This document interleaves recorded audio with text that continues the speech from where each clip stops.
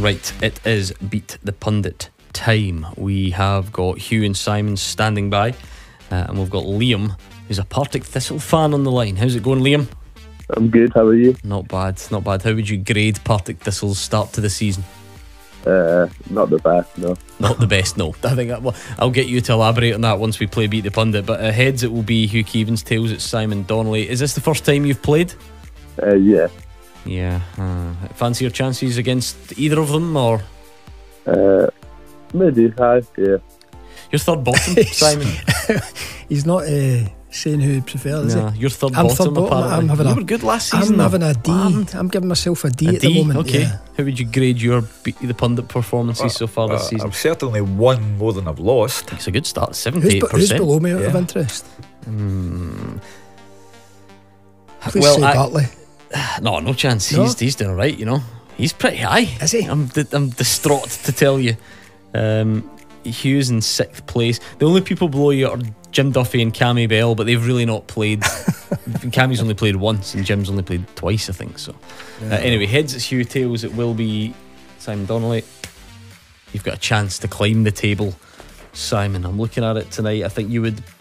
You'd go roundabout with Scott Allan, I reckon. If you Right, win it, you might on then. overtake him. So, Come on then. what we'll do is give Simon something else to listen to, some greatest hits radio usually, and that means Liam he can't hear us. So you've got the privacy of that for now. It's 30 seconds, answer as many as you can, and quite simply pass if you don't know the answer, okay? Okay. Right, your time, Liam, is on the clock and it starts now. What was the score in last night's championship game between Falkirk and Livy? No, no. How many Aberdeen players are now in the Scotland squad to face Croatia and Portugal? Three. What Scotland player has the nickname McSauce? Uh, McTominay. Who, what is who is the main stand at Ibrox named after? Uh, pass. Uh, who is the last player Celtic signed from Aberdeen? Uh, pass. Name any Scottish League One side starting with the letter A. Arbroath. Okay, let's bring him back. Simon Donnelly, can you hear us? Yes? No? We're back. Got us Go now? back now. Oh, yeah. good. Yeah, there's a slight delay there. Were you just distracted? A little bit of simple minds There there. was, aye, simple minds. Who's the only member of the Super Scoreboard team who's sung on a video with Jim Kerr? Must be you. Yeah. Shaking. Shaking Yeah. Stevens. No, seen it. You must have seen his Christmas attempt at number one a few years ago.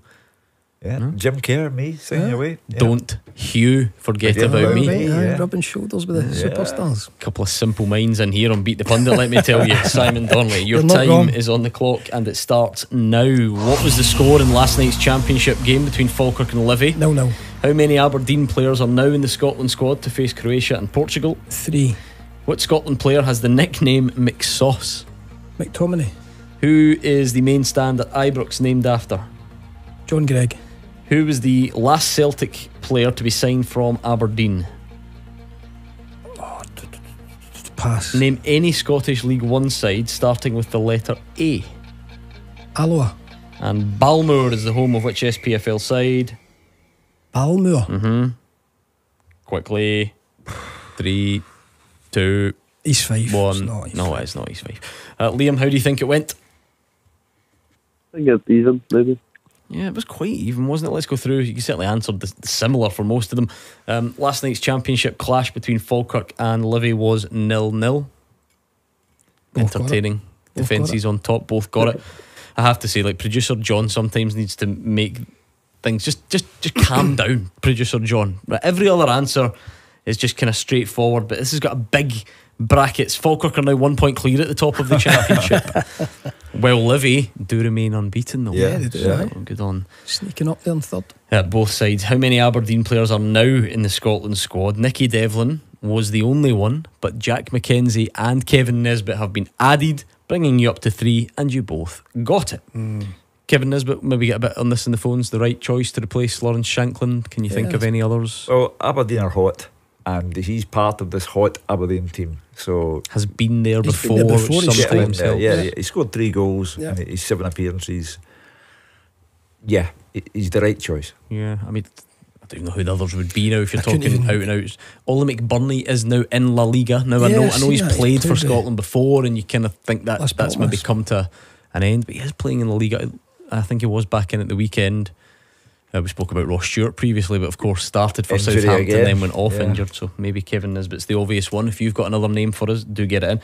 Um, what Scotland player has the nickname McSauce? Just something weird about it. But anyway, um, when he's banging in the goals, won't complain. Scott McTominay all got it three all. Three each. None of you knew the main stand at Ibrox. Sandy Jam. Bill Struth is the main Oh. stand, Bill Struth. apparently, according to these anyway. Blame somebody else if it's not right.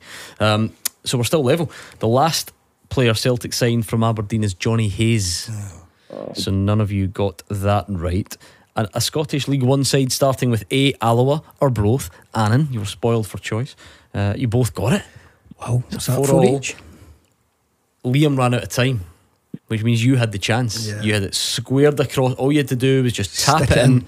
No, put it over Six the bar. yards out. Balmoor is the home of Peterhead. Peterhead. Peterhead. Let's see. You would have got I've that as well, there as Liam, well. wouldn't you? Uh, I thought Cove Rangers. Ah, there we go. Never mind. I was trying just say yes. I thought you were going to get it. I did that thing that Liam's from Elgin. I did that thing where you just assume that anyone north of Perth knows Knows everything, everything. about the everything else north Partick of. Thistle fan from Elgin. Yeah, apparently, Liam. What's the story there? Uh, family. Ah, family, good. Right. Okay, let's do the, the, the tie break first before we go. Right, okay. So, what I'll do here, Liam, is I'll read the question. I will then invite Simon to write his answer down before asking you for your attempt, okay? Okay. Since its inception, how many PFA Player of the Year, Players of the Year, uh, have there been that were not playing for Rangers or Celtic at the time? So Simon Donnelly and Liam and Elgin, since it started, how many PFA Players of the Year have there been that weren't playing for Celtic or Rangers at the time when they won the award? Okay, Okay. write it down, Simon, if you can. Come on, don't look at Hugh Keevins; he's not going to help you out. Hurry up, Can you tell three. me when, the when it started? no. it's not that old. What, what are we talking here? Alright, The okay, seventies, eighties. Yeah, always mid 70s. yeah. Right, okay. So hurry up, Simon. Uh, Quickly, no, you're taking far too long. Write something. Okay, what is it? Right, what are you going for, Liam? Uh, six. Six. What, what have you got written down? Ten. Ten. One of you's got it on the nose. One of you's bang on. Yeah.